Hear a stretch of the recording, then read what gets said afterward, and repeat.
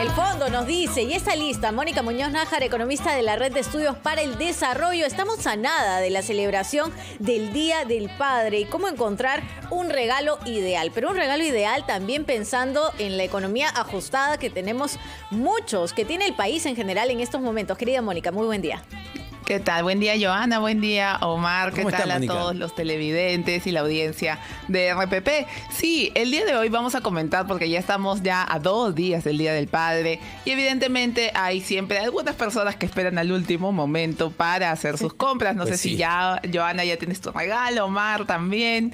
Eh, pero en, en principio lo que quería compartir con ustedes era aprovechar ese espacio para un poco dar algunos consejos un poco más generales y luego vamos a hablar del Día del Padre pero sobre el tema de las fiestas, porque nosotros en general siempre hay fechas en el año, todos los años hay fechas, Día de la Madre, Día del Padre, hay algunos que por ahí celebran el Día del Niño, también hay, digamos, algunas fechas ya particulares de cada familia, está el cumpleaños de la abuela, el cumpleaños de la madre, entonces hay algunas fechas que se van distribuyendo a lo largo del año y si siempre estamos como un poco ajustando para poder comprar el regalo, es un indicador de que no estamos planificando adecuadamente esto en nuestro presupuesto. Así que eso era lo primero que quería compartir con ustedes. Algo que tenemos que empezar a ser un poco más estratégicos, un poco con más intención, es revisar a lo largo del año, ¿no? Cuando estoy planificando más o menos cuánto voy a gastar,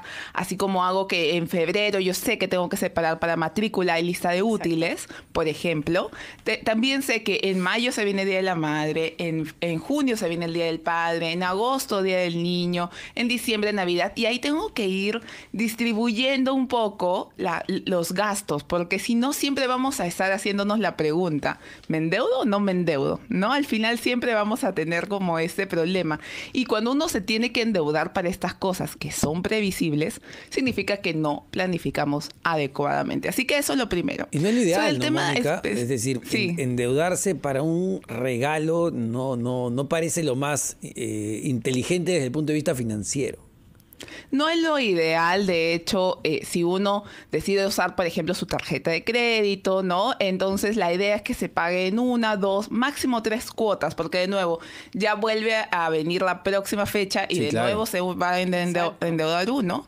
Entonces esa no es la idea. Exacto. Eh, en todo caso, aquí lo que, lo que se espera en esa campaña del Día del Padre es que la mayoría de peruanos sí ha declarado que tiene la intención de comprar un regalo, pero también hay una gran proporción que lo que hace es pasa el tiempo, ¿no? En familia, hacen un almuerzo o un desayuno familiar. A veces también se hacen cenas familiares el mismo domingo, ¿no? De hecho, tres de cada diez padres de familia, según Cantar, prefieren que es el regalo, digamos, sea comer con su familia, ¿no? Así que hay, digamos, hay algunos, eh, algunas familias que eso es lo que hacen. Ya saben que si se organiza una comida en una casa o si se va a salir a comer, siempre la idea es tener como un tope de presupuesto, distribuir los gastos, ¿no? Entre los hermanos, repartirse para poder ahí ahorrar un poco.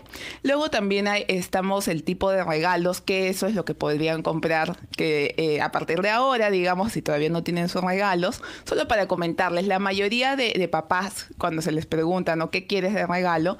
en el Perú el 34% señala que quieren algo de calzado, ¿no? Zapatos o ropa. Así que por ahí podría ir, digamos, si es que ustedes están pensando que le regalo a mi padre, a mi padre, entonces por ahí hay una pista, ¿no?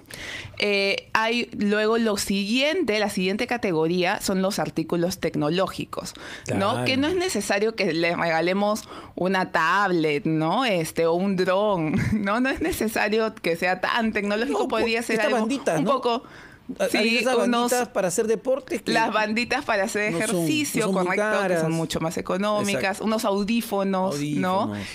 Así es, ¿no? Esas cosas son fundamentales. Y bueno, luego hay otras, algunas otras cosas, como por ejemplo si, hace deporte, algunos artículos para ayudarlo a hacer ese deporte, eh, la misma ropa deportiva, zapatillas o tal vez algún implemento, pesas, ese tipo de cosas, ¿no? También están siempre los perfumes, artículos de cuidado personal.